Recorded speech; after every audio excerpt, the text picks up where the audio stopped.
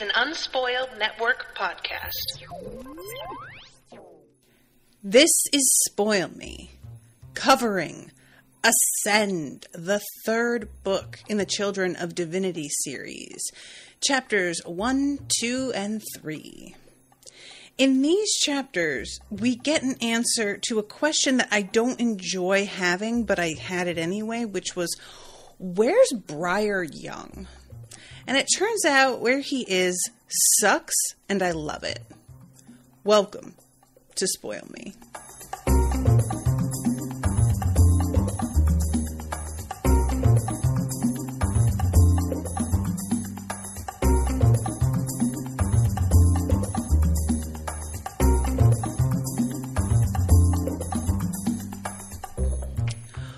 Welcome to the show, everyone. I am Natasha. Thank you very much to Heather for commissioning this episode. Heather is here in the chat, and it's her birthday Monday. Happy birthday! So, there is so much that has happened since the last book ended. I think I kind of expected this book to start where the last one ended, and that we were going to like see the recruitment process that they had to go through to get people on their side and everything. And that really isn't what we're jumping into it all. Things have sort of moved on and been resolved into the separate groups that we were heading towards already by the time we begin. And I have to be honest, I'm glad of that. I kind of prefer this to what I was thinking was going. And it, it's not even like I was dreading what I had thought was coming at all. But it's that sort of thing where you just have like a preconceived notion of the flow of things. And it's nice to be surprised and it's nice to sidestep some things that might feel, I don't want to say like a little bit too predictable, but just sometimes, you know, there'll be a conversation with a couple characters and it's like, ooh, can she convince them to join them? And based on the relationships that people have had, you're like, no, I know she will. So I don't really want to sit through this and watch them argue about it unless it's people that I genuinely am not sure. And if I'm not sure, probably she shouldn't even be approaching them. So, you know, um, I was actually talking about this with something else that I was covering the other day, but just watching characters argue about something is not as interesting as certain writers tend to think it is unless they both have a really good point of view and unless you really care about both characters and are sort of like rooting for each of them in their own way. Otherwise, it's just a drag. So I just like, you know, Heather in the chat says logistics aren't as much fun to read about. Heather, I cannot agree with that sentence. I'm you know me in logistics. I am into it. So it's not even that. It's just more like when you're like, I know how this is going to end up, and I just sort of have to sit through it until we get there. Do you know what I mean? It, that's sort of energy. Um, and yeah, we don't have to do any of that, and it's great. But what we do start off with is hugely annoying. And I don't mean like in terms of, you know, the writing or anything. I just mean I am realizing what gets to me about Jill. So we start off with Jill in the midst of a mission, and it's like, granted, a pretty small mission, but I'll be honest, I was sort of hoping that this was like a training exercise that just seemed really real because Jill is so irresponsible here. And it's the kind of thing where, like, you just have to accept that certain people's minds work totally differently from your own. And this is something that I have a lot of trouble with because for me, I like to think, as I'm sure most people do, but I like to think that I can be pretty objective and manage to use logic in situations and see both points of view and come to a reasonable conclusion. And that sort of like feeling of like, well, my process for deciding things makes sense. And because it makes sense, that must be how everyone does it, you know? But if everybody thought like me, absolutely nothing would fucking get done. Like, I'm not even talking about like, oh, I am not good at math or I'm, you know, I'm just talking about like, I am a cautious person in a lot of ways. Um, which I think some people might find funny for me to say because I can be extremely outgoing or outspoken or daring with like how I dress. But when I'm taking action, especially when there's like a real physical danger, I don't like to play with that. That really scares me, and I am going to be extremely circumspect about every step of the way. Um, to the point where it's not great, you know, like um, I'm covering Cradle, the book series, in another one, and there's a point at which this girl is attempting to break through to a new level of power, and some somebody says to her, "You have to learn by walking. You can't just take a step and then stop and evaluate how that step went before you take the next step." And I felt like I had been shot because that is just an, a completely accurate, pinpoint, precision kind of what's the word I want? Criticism, I guess. Accusation is more what it felt like uh, in terms of how I think. And Jill is just so not like that. And because she's not, I find her just so frustrating to read because I'm like, what are you thinking? And granted, she comes to the correct conclusion in the end. You know, she gets yelled at um, which I honestly appreciate. Douglas is like, I shouldn't be yelling at you for every mistake you make. And I'm like, okay, you shouldn't be yelling at her for every mistake. But she was like grinning after you had to completely sideline what was going on to rescue her. She deserved to be yelled at because she still clearly did not understand the gravity of what she had just done and was willing to just like she was about to sort of dance by it and just be like, "Well, it worked out." And that's the kind of thing that like it's not just people who are less cautious, that's a real youthful sort of attitude to be like, "Well, it worked out this time, so probably it will always work out." Instead of, "Well, it worked out this time, thank God for that." Better not test fate and try again, which is what you start to think as you get older, you know? And um just the fact that it stems from her like completely disregarding a direct order that she's given. And yet, she's over here obviously trying to channel Jordan a little bit. And I appreciate that as well, that Douglas zeroes in on that and is like, hey, look, I understand that you kind of want to be your sister because she's an insane badass, but guess what? Nobody is really like your sister. And you don't have to be. What you need to bring to the table is who you are. And just don't like attempt to approach things the way she approaches things when she has a completely different power and skill set to you. That doesn't make sense. Like, why would you handle it that way? And yeah, I just really appreciated that because look, I am sure that from the outside, compared to this is one of those things that happens but jordan has just recently broken out of like the the group that she was assigned to. Low key like committing a little bit of treason light treason maybe less than light but you know um and is breaking a lot of rules. And i could see somebody young interpreting this as well, breaking rules is how you get things done. But the truth of it is, Jordan got to the point of breaking rules like this after following them all her life to the point that she became hyper competent. The kind of competence that, even amongst other superpowered beings, is rare.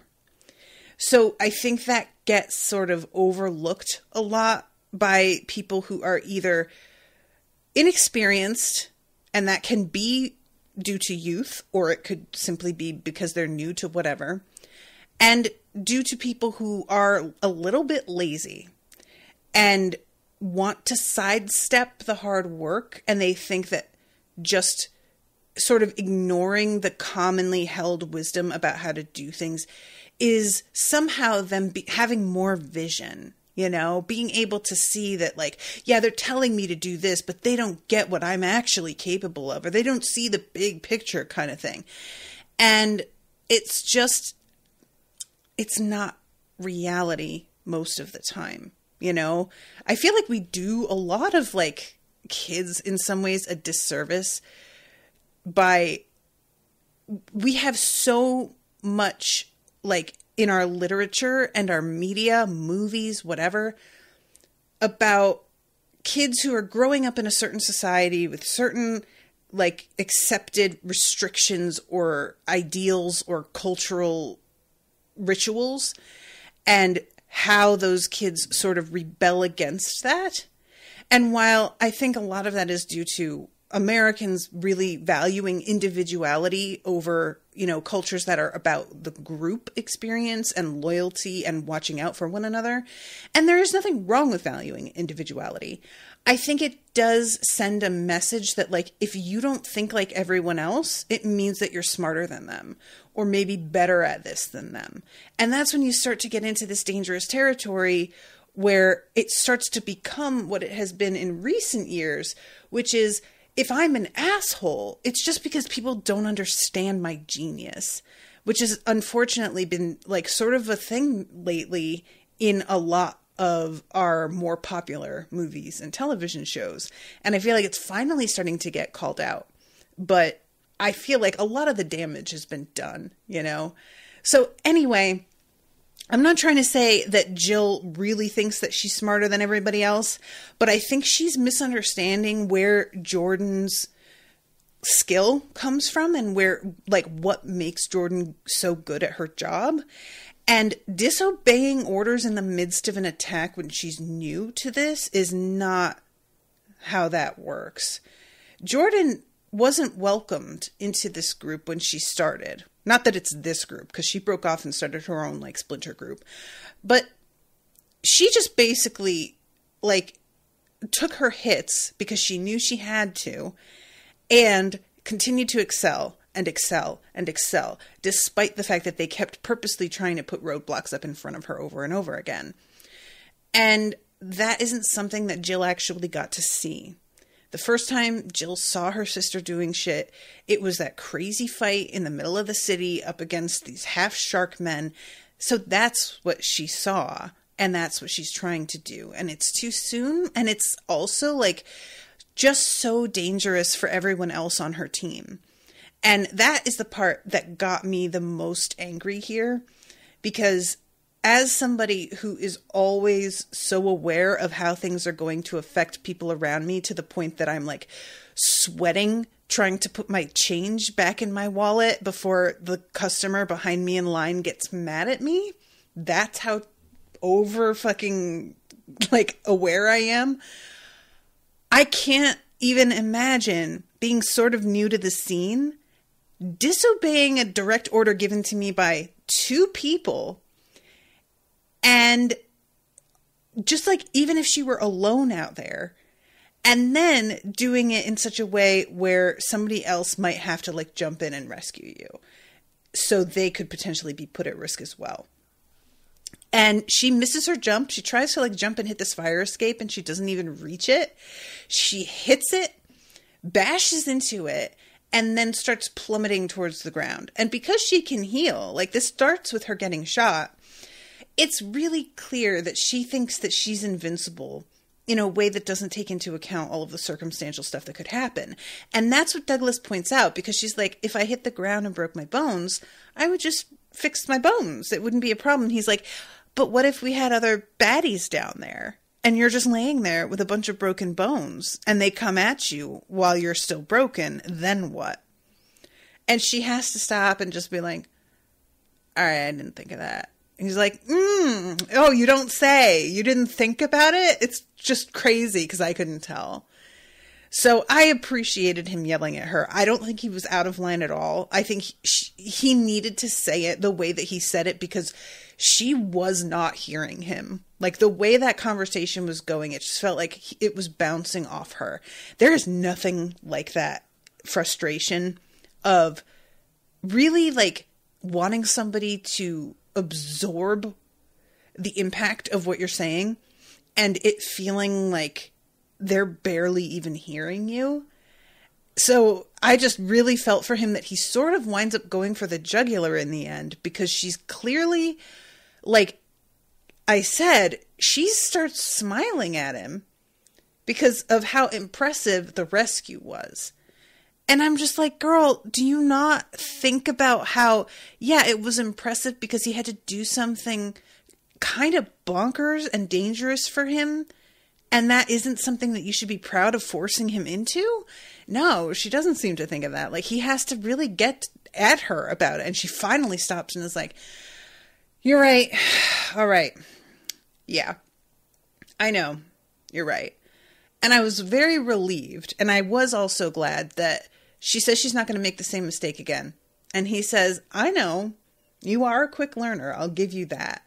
That was also encouraging you know, because it's one thing to in the moment be like chastised and really think, okay, maybe I don't know everything. But then you get put in another situation like that and you can convince yourself this isn't really the same situation. You know what I mean? You can just be like, well, I mean, that was then and this is now. The past is the past. So I'm hopeful that that's like genuine and that she really will kind of reconsider that sort of thing in, in the future. Granted, there may be a day where she does have to disobey a direct order and it will be for the good, but I don't trust her judgment on that yet. Um, so that's the end of the that conversation or that like scene with the two of them. Um, oh, and I wanted to mention Heather, and I don't know if this is something that can be updated or not, but the table of contents for this Kindle book does not have any of the chapters. It just is cover, table of contents, and beginning, and that's it. So it, it's a little hard for me to navigate, and um, I don't know if that was like purposeful or not, but I just wanted to mention it in case it's something. I don't know how uploading files to Amazon like works anymore because I used to do this, but it was at least 10 years ago now. So I'm sure that technology is different. And if it's as much of a pain to update that as it used to be, don't worry about it. but I just wanted to mention it. Um so okay, then we go to chapter 2 and Jordan is being followed. And this is really fun because as it turns out, it's her dad but initially she isn't like she's just noticing that this guy's really good at it. And there's a point at which he changes his gait and I think turns his hoodie inside out. His hoodie is a different color at one. And I don't know if that's like he has another hoodie on him or he has some sort of ability to like give illusion that his hoodie's a different color or that he it's like you know one that has a different color on the inside and outside. But regardless he is capable enough at not only changing up the way that he looks so that if somebody was less skilled than she is they would not realize it was the same person. But also she really tries to give him the slip hard a couple times and it does not work. He is still there. Like it takes a minute but she looks over her shoulder eventually and he's like still there excuse me. So she ducks into an alley at one point and makes herself invisible. I keep forgetting that she can do that. And then all of a sudden she smells this familiar scent and like her guard drops. And I really was like, who who is it that she would know well enough to know their scent? And then when it's her dad, I was like, oh my God, yeah, that makes total sense. The whole idea of being able to like detect interesting different scents is something that I really enjoy in stories like this, and it's so hard for me to imagine because I have a really good sense of smell actually in life, like just as a person, because I think that's what makes me a really good cook. Um, and honestly, it's not awesome sometimes. You know, I, it, it can be hard for me to like get comfortable chilling on the couch or in bed when I can smell that like the cat just took a massive horrible shit out in the living room and it's like I can smell it and I'll be like oh my god and Owen has no idea what I'm talking about. So in that respect I'm always just kind of like man this must kind of suck sometimes. But on the other hand it being so heavy on information would be really cool. You know, like being able to come onto a scene and be like, all right, well, so and so was here and they were kind of mad or they cooked this or whatever. I think is a really neat idea. I just wonder if it's ever like kind of a if there's ever a sense of almost pain with it, you know, because like that's a thing human beings we have like a pain receptor sort of sense in our noses that will smell something and recoil and it's this automatic like reaction. And you don't see that as much with super powered smelling. You don't see them always being like unless it's meant to be a specific joke or it's meant to be like you know in twilight how vampires smell horrible to werewolves and vice versa. Um but anyway so yeah it's her dad and he has been following her and she is trying to get to the uh the safe house that she has set up for her people. And um she just leads him in and they wind up having this conversation. So first of all he she like he immediately starts off with i'm not letting you kill mcintyre. And she's like oh let me. Really? That's how we're going to play this. Okay. If that's how you want to do it and he says something about how he has more experience than her and i thought this was something that he was about to like because i i thought he already knew that she had been told the truth. Apparently, he did not know. So, what winds up happening is Jordan absolutely unleashes on him about the fact that he kept this secret. And, like, he says something about how I see now it was a bad idea. And she's like, You see now? Now? 30 something years down the line? Like, really? I don't remember how old she is the oldest, but I don't remember how old she is. She's not 30 though, is she? She's like 26 or something, right? Um and he, you know, does the I just wanted you to have a normal life kind of thing and she's like Okay, here's the thing. We weren't normal though. And we were hyper aware of the fact that we weren't normal. And so we had to go through our lives in these sort of high stress, constant emotional states because we were hiding ourselves. We were worrying about hurting people around us. We were baffled by the things that we could do that we didn't know about. Shit just began to pop up. And we thought, oh, okay, I guess my powers, I can become invisible. Oh, nope, it's also that I'm super strong. Oh, nope, I can also hyper smell. Like, and honestly, this bitch is completely 100% correct and he should be ashamed of himself. And he just sort of lets her yell at him. But I like how it said that him contritely sitting there and letting her yell like doesn't help at all. And that is really like when you're mad at somebody, any any response that they give is never going to like feel good. They can argue with you and that will sort of help in terms of you wanting to continue to escalate because you are so mad. But it will make you more angry with them because it feels like they're trying to defend something indefensible.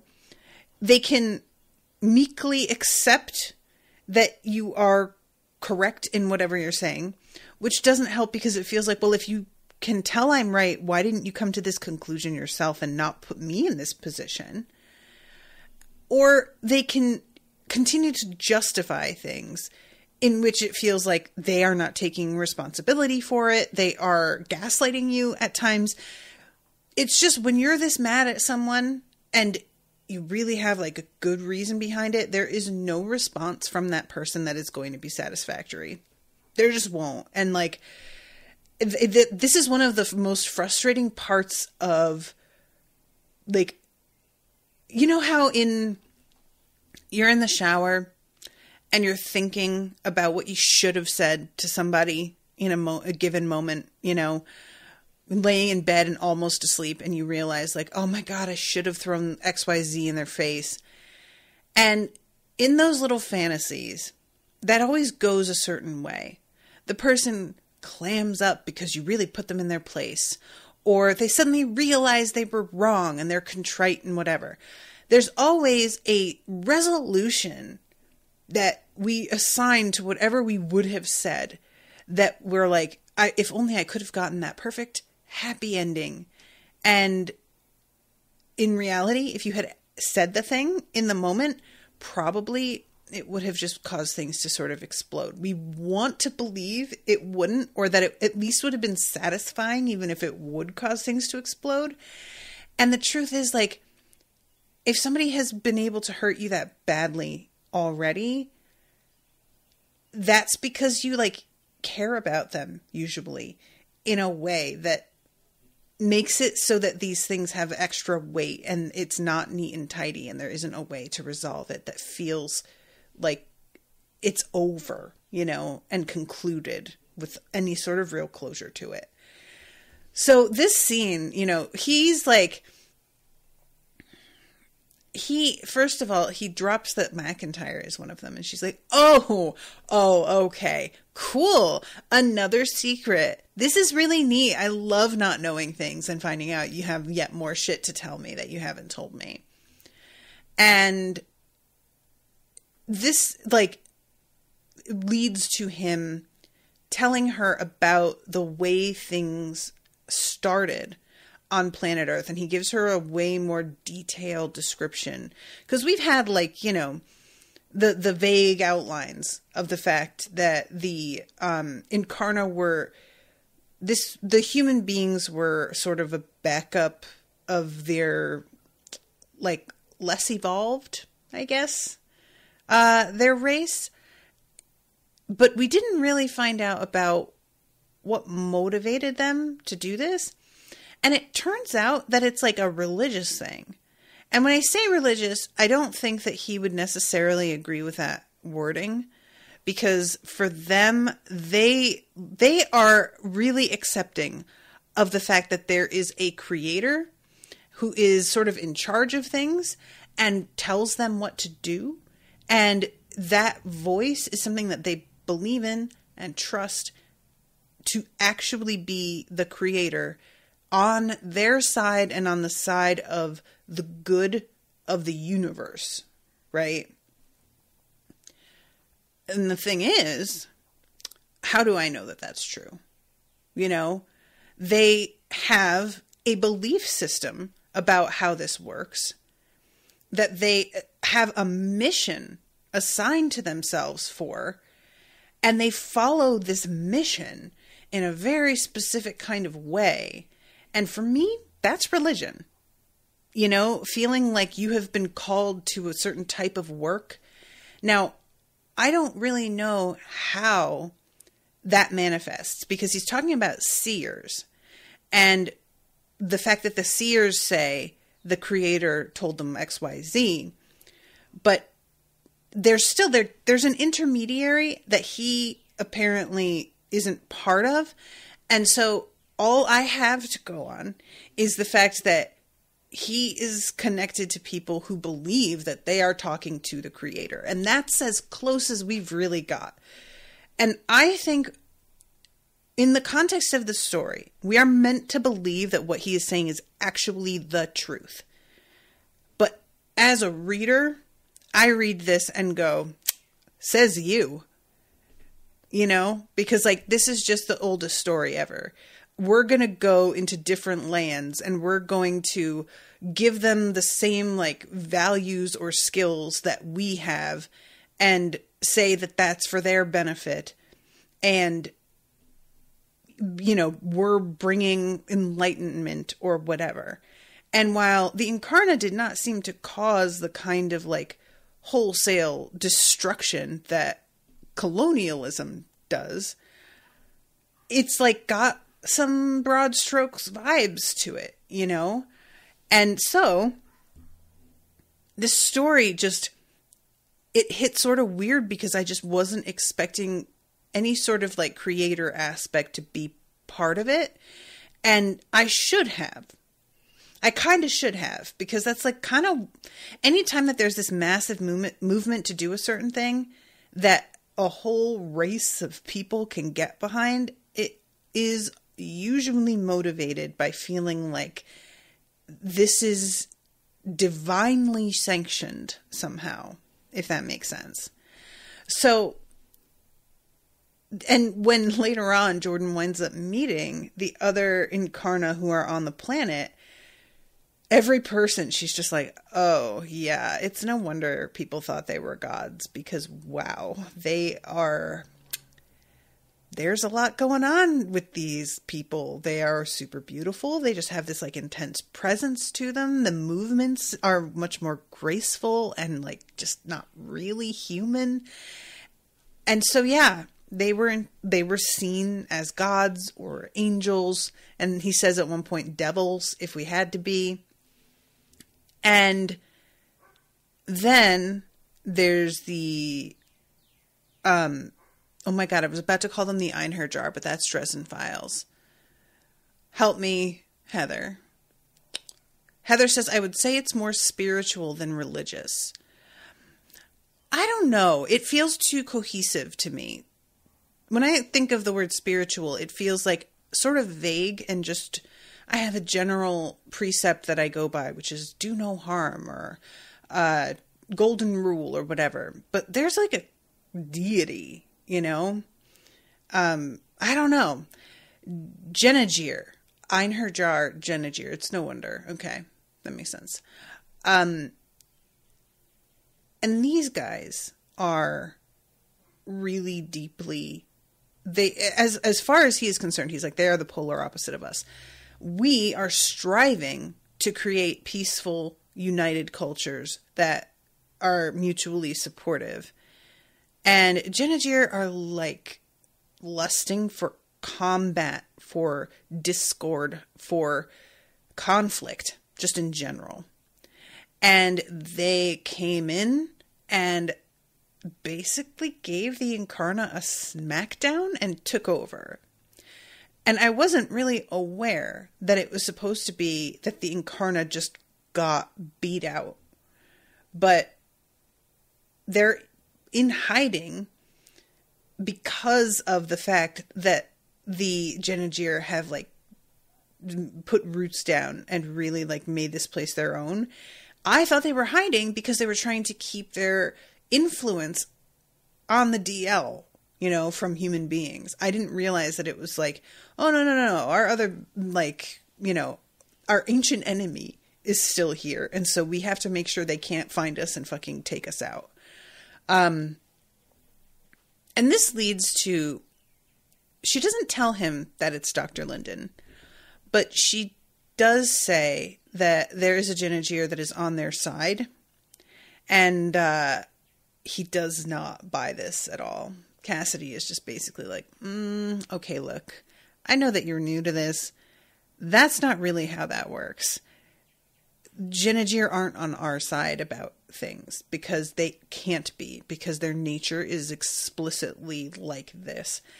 And she's like, that sounds like racism. Did you bring racism to this planet too? Is that part of your deal? And he seems to be unmoved by her argument. He's very sure he knows how these people work. And she is very sure that his millennia of interaction with these guys has colored his perception, which is probably true. And she doesn't wind up actually telling him who it is, and I think that's a good idea because considering his viewpoint on that, I don't think Linden would be safe, you know. But um, I did find it interesting how black and white he sees that because I wasn't really sure. It sounded like it was a very absolutist sort of Genagir are bad, period.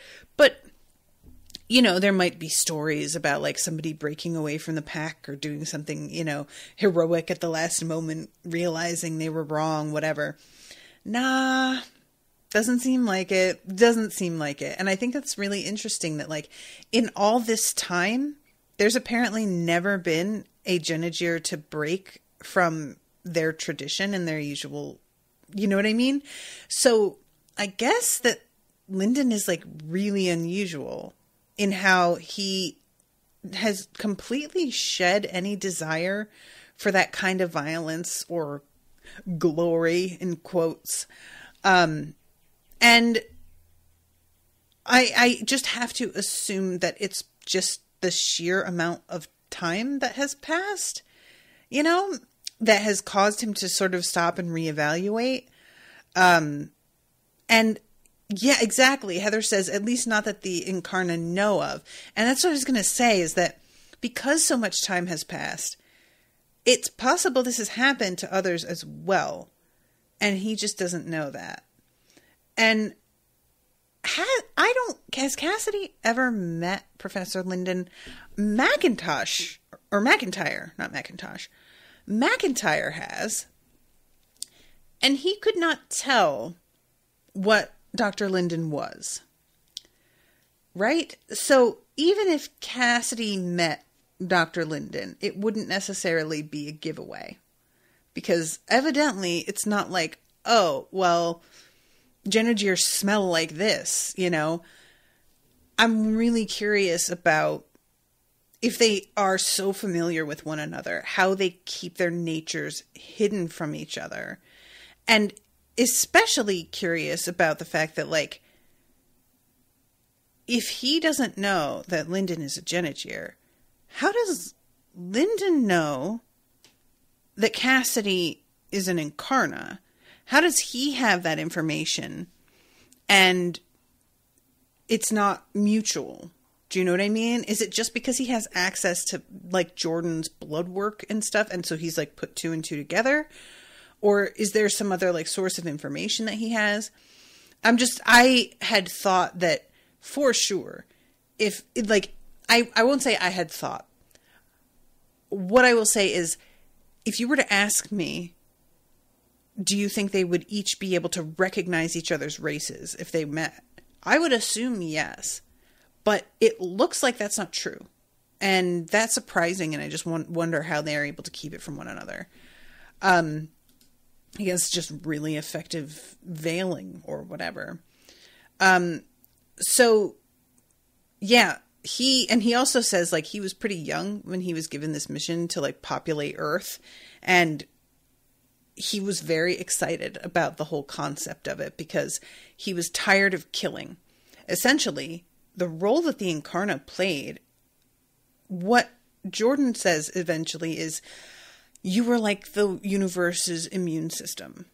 So the Incarna were sent to take care of populations that were like causing problems and take them out, like kill entire, you know, basically commit genocide over and over again. And this was, again, allegedly due to a divine, like, I, I don't know the word I want to use here. I keep thinking of the word syllabus because I'm just thinking about like, oh, here's the list of things that you need to like do for this this quarter or whatever. But it's the kind of thing that I will take his word for it because I think we're meant to. But if I were hearing this from the outside, this does not sound like what I think he wants it to sound like. It sounds like you guys were crusaders, you know, and that's not a great look. Um, regardless, though, the whole like assertion here is that they were very glad to do something that promoted life rather than taking it away. And that makes a lot of sense. They were just fucking tired of it, you know? So he took on this assignment with a lot of excitement. And um, he says, uh, let's oh yeah here it is in short we were created to act as hands for being for a being that exists as pure energy as warriors bringers of order destroyers of spiritual disease um and he talks about how they despite coming here to do good, they're like not a perfect species at all. So there have been problems with the ways that things have changed over time. Um, let's see. We war had changed us as well. We had become less tolerant and more inclined to practicality than belief or faith. We made mistakes, and I'm like, you've become less tolerant and you like know that. But also you can't give Jordan the benefit of the doubt that she can recognize an ally versus an enemy in a Genagir. Sir, you may want to sit down and try and reconcile those things because it's possible you talking about a lack of tolerance may have something to do with this right now. Just saying. Um, and some of some of us fell into discord drunk with our own power. We were gods among mortals warlords without peer and we reveled in the adoration humanity gave us. Humanity fought wars in our name and we walked amongst them striking down empires that didn't conform to our plans. What we didn't do was turn on each other. Not even the worst of us would have broken that ancient and sacred rule. And that is really sort of like what's driving, I think, what's coming next. Because there is just an accepted, like, yeah, but we're all still in this together, even if we don't agree, sort of attitude amongst the Incarna. And it really, McIntyre's whole attitude is really giving. Mm, I mean, you know, because later on, to jump ahead a little bit, he basically is like, okay, so we're going to kidnap the other law sisters. And he frames it as like, no, they're going to become soldiers for us. But they are, I can't remember the names of each, or the um, occupations of each of them. But there's like one that's a cop, and the other is like a social worker, and there's a chef. The kinds of jobs, like the cop, maybe. But the others, are like very much they would have no experience in this. This isn't really their fight in the way that he's trying to frame it as. And it's obvious that he's attempting to find a loophole for going against his own people. Like he's trying to behave as if, yeah, well, we'll enlist them in this fight because that's how this goes. And I'm like, okay, no. You want to you want to get to Jordan a little bit and to Cassidy. I feel like Jordan more so, but you know, Cassidy is just part of that. And the best way to do that is to make it so that she is fighting against her own sisters. You're putting them in danger. It's essentially using hostages as like human shields. So, this whole we're going to turn them into soldiers like line that he's trying to use just rings incredibly hollow. This is so transparent, and I'm extremely curious to see how the Incarna react to this because it crosses a line, in my opinion. It may be adhering to the letter of the law in terms of, like, well, you know, we have said that we will bring them into this battle with us eventually, but these girls have not been made aware of what they are yet. Like, as far as I know, Jordan is the only one who knows, right? Jill hasn't found out, Ryan hasn't found out. So they're going to be brought into this in such a way that either he will continue to not inform them of what they are, or he will tell them what they are. And do that like sort of in my opinion this is like something that it's really their father's place to have this conversation with them and he is going to sort of take that away from their dad and that can really foment a kind of distrust between them. I mean, it's sort of lucky that isn't already what's happened with Jordan. She's mad at her dad, but it's clear that even so, underneath that, she still trusts him. She still has faith in him. I don't know what happens if somebody who's like on the opposite side of something with Jordan is the one to come and tell them about all of this. You know, they're not prepared, I don't think. So, in my opinion, what McIntyre is doing is not only just incredibly shady and shitty, but I don't think it's as clever as he thinks it is. It's the sort of thing where he's like just so blinded by the situation that he is flattering himself that he's cooked up a really creative solution. And it's like, well, I mean, it's just sort of like you trusting that everybody's going to be like, well, there's nothing in the rules that says a dog can't play basketball. And, you know, that's not really how that works, actually, dude. Everybody's going to be able to tell, especially considering what's going on can't be, you know, they're all aware of the clash between him and Jordan, right? So the motivation behind it would feel pretty clear to me.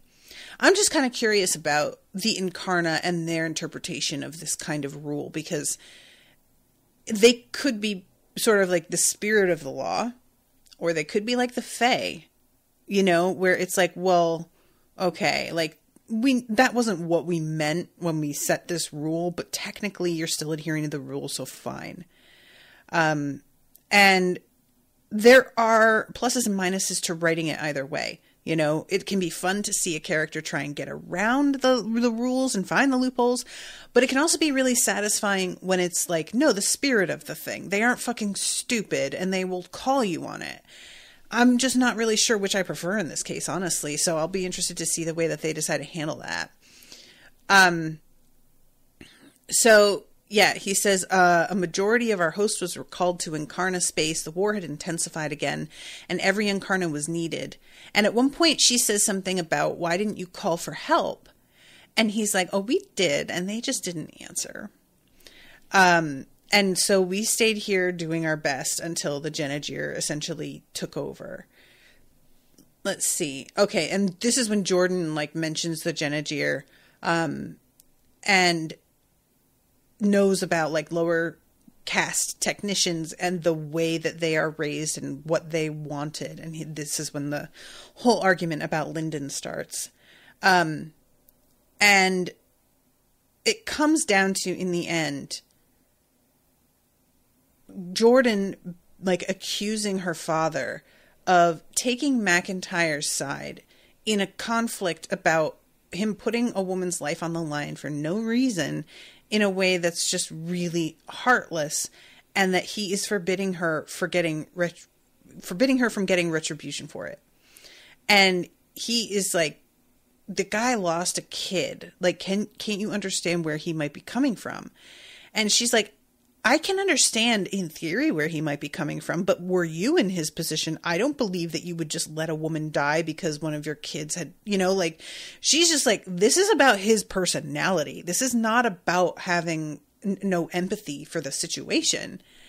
And um for the moment, she agrees that she isn't going to like directly go after McIntyre, but it's je- it's definitely sort of like well, the timing isn't right anyway, so I'll just sort of like sit on it at the moment. That was the vibe I got anyway. And then we go to the whole thing with um, Othello and Tristan and McIntyre, and McIntyre giving them the orders to take the law girls into custody, treating it like it's something that it definitely is not. And low key, like both Othello and Tristan are really unhappy about these orders. And they have they go further than I expected in the scene to make it clear that they don't think this is a good move or a smart move or an ethical move. And essentially, McIntyre is like, I'm sorry, who are you? Who asked you for anything, literally? Nobody here. Not a single fucking soul. Get out and do what you're told the way that you are paid to. Bye. And I was like, that has to hurt. And it leads to Othello being like, I think maybe we should sign up with Jordan after all, because this just feels really, really wrong to me. And I know that she would take us in despite everything. And Tristan sort of spins a rationalization about how they can keep those sisters like because of the escalation of everything. What Tristan says is they are going to be unsafe out there and they don't know how to defend themselves by virtue of what their, you know, their careers are. And if they come here, they're going to be safer than they are out there. And for a second, I I almost got a little convinced by that. And then Othello was like, safer? You mean as they're being trained to go out into combat in the open? That kind of safer? That really doesn't sound like a real thing, but if you want to keep telling yourself that, I guess that's your business. And I was like, all right, Othello, you know what? You make a very good point, and my bad. Like, he really started to kind of convince me for a second. And it ends with them agreeing to like do their best to care, like to protect these women. But it's clear to me that Othello is really still not happy. And I'm curious on whether he's going to break apart on his own anyway. It feels like he doesn't want to make this move without Tristan. But I kind of think like maybe you should just make the move, dude. Like what McIntyre is failing to sort of see is that when everybody is consistently disagreeing with you this much, you are only as strong as the people beneath you who agree to follow you. And you've already lost most of the most valuable people on your team because you threw away one of their one of their number without a good reason and you were also outed as a liar and still have not answered for that. And now you're telling them to do something really like just not cool and you're telling them to shut the fuck up and do their job, which is sort of exactly what got you in the situation you are now in. So it just feels like McIntyre is sowing the seeds of mutiny everywhere he goes, and he seems blithely unaware of it. Um, so then we have the uh, the third chapter where let, us see i'm trying to find oh that right this starts with spears. I was going to say that this is the one that starts with um briar young. But basically spears is just um watching jordan and her progress and he knows like in general where she is. They are noticing somebody that's following her and he figures out that it's cassidy. And um, then he gets off the phone and he picks up the book Hitlerland American Eyewitnesses to the Nazi Rise to Power, which is his light afternoon reading, and sits down to just enjoy this and offers to read aloud to Jenna. And she's just like, Yeah, I would like that. You haven't done that in a long time. And that is how that scene ends. So then we go to Briar Young. And it turns out he is still with all of the um, what is the name of this this group the Vodnik. They are hiding out in this like bunker. It's freezing cold. They have these bullshit rations, you know. I always picture like sort of um those those like big industrial sized buckets that they have at like Costco that are filled with freeze dried sort of like apocalypse food. And the whole thing with Briar throwing in with these guys was because he, A, wanted to walk on Easy Street, and B, wanted to get revenge on Jordan. And all of what's going on is not getting him there. And he is growing increasingly impatient. It's just, he's so irritated. But the thing is, he has an attitude problem about it. And he knows that Tretiak is not somebody to fuck with, so he is desperately trying to rein that shit in because they can like smell when you're lying. So he has had to figure out how to be sincere while also getting the information that he actually wants without offending them. And what winds up happening here, because Tretiak is sort of like, look, man, I'll let you get away with some shit because your help is what got us here. And I'm not going to say I don't appreciate that, but you also need to be more fucking respectful, please. This is not going to fly. And Briar, to his credit, recognizes when he is just out of his league and is like, okay, okay, okay, okay. And then he just says, well, but how long are we going to be here, though? And um, they essentially what Tretiak says, because Arcady's like, yeah, boss, look, I don't want to get you mad or anything, but like a lot of people have been asking that. how long are we going to fucking be here? And Tretiak is like, we're going to be here as long as we are going to be here. We are no shape to go out and try any kind of assault on these people again. Our numbers have been thinned. We are not rested.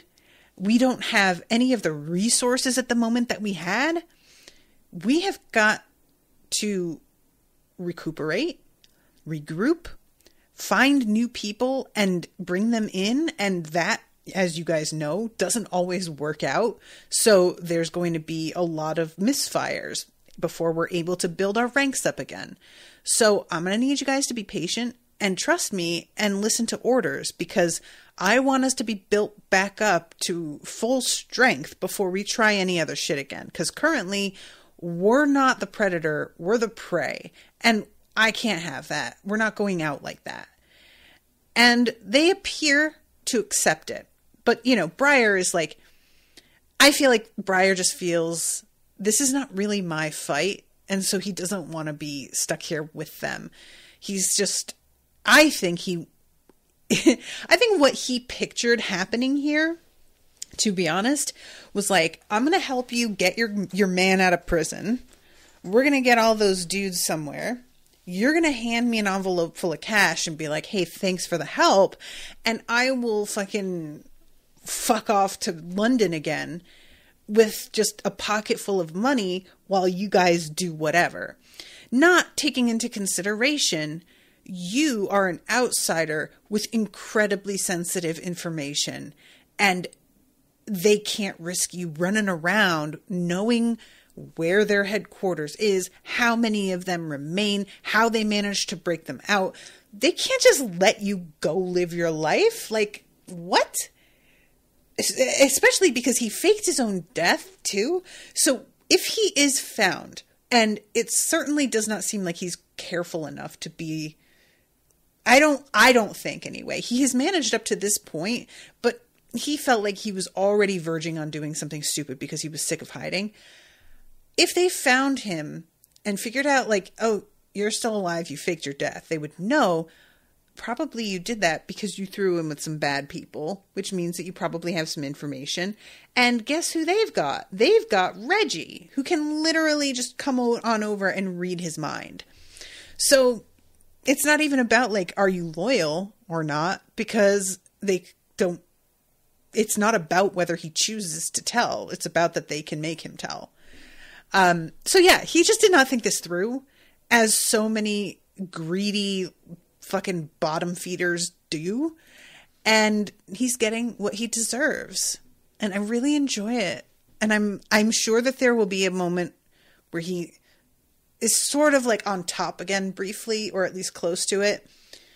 And I'm not looking forward to that, but uh, for the moment, I'm just enjoying his discomfort and how he's trapped. So, then we go to this scene where Jordan is introduced to all of the Incarna, and they're in this like room. It's not specified to us where this room is or how they get there or any of this. I was a little bit like wanting to know just at least is it someplace that he can get to just by because she talks about how she called it a teleporter and her father called it the conduit. I'm assuming that's how they got here, but it's not mentioned like where the other end of it was or if he could just connect to the conduit from wherever he is. And that's what I'm sort of curious about. And um, I can't remember how many of them there are in this scene because it's specifically mentioned a few times how many remain. And a chamber of 12, 12, 12, 12, right? Um, and what it is, is them deciding whether or not to like officially sanction Jordan, I guess. I will be honest though, I wasn't entirely clear what this meant for her, and I'm not sure if I was meant to know. But why she wants them to acknowledge her, other than just sheer validation, which doesn't strike me as a very Jordanish trait was just kind of eluding me. Are they offering resources? Or are they offering to awaken her? Because she says that she's awakened to her dad and he's like no no no you're not awakened. You've like reached a point. So is that what it is? That like she's if she if they accept her then she will be able to be awakened and like level up essentially? If that's it i totally get it um and that felt like kind of what he was implying but I just want to make sure that I'm getting that right. And and the way that they determine whether or not she's ready is by watching the fight in New York. And I was sort of interested in the fact that they choose this fight in particular. I'm not sure why this is the one that they decide to use as their example, but overall the whole fight and the the ferocity of it impresses pretty much everybody. The only person who does not vote for her is McIntyre, which is not surprising. Um, sorry, my nose is itching. Um, Heather says because if they acknowledge her, it means that McIntyre can't actively come after her, and there are abilities and knowledge she doesn't have yet. Oh, I didn't think about that. He can't actively come after her, but then she can't actively come after him either. I mean, I know her dad had said you can't, and she was like, all right, fine for now. But if she's agreeing to this, then she's essentially like, all right, well, then I'll find a different way to do this. And that's interesting. I didn't think about that. And there are abilities and knowledge she doesn't have yet makes sense. That was sort of where I was like, but I just, it wasn't that specific. So I was, you know, um, and yeah, she watches this like sort of highlight reel of that fight and experiences it in real time like it's all happening all over again. It's not like thinking about a memory and remembering, oh yeah, he made me like super horny for him. That was weird. No, she's feeling the desire in the moment like it's it's happening now again. Um and so yeah, all of them are basically like, "Wow, that was pretty impressive actually. Goddamn. Okay. Yeah, I think that you're ready." And he's the only one who's like, "Nah." So, sucks to suck cuz nobody agrees with you, sir. And um it ends there's like a couple back and forths with a couple of the different Incarna like there's an Asian dude who's like sort of joking around, or maybe it's Native American guy.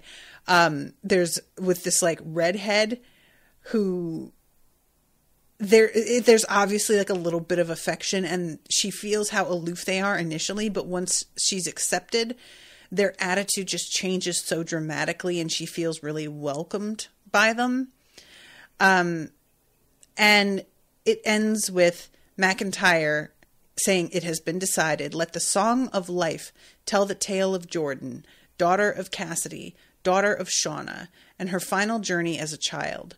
She will be known to all from this day forward as her own woman. And uh, it ends with her mother singing because they use music as a means of like conjuring this flashback memory highlight reel kind of thing. Um, and I'm always a fan of using sound for essentially magic. You know, I think it's something that doesn't get used that much because it's difficult to write. But I think it's a neat concept considering how affecting I find music in real life. And that's why I often don't listen to it because it's too affecting and I resent it. So, yeah, so that is the end of the chapter. Um, all right. Well, I'm going to wrap up, but thank you again, Heather, for commissioning this. I'm excited to be starting this book. And I hope that you guys are enjoying the coverage. And until next time, toodaloo, motherfuckers.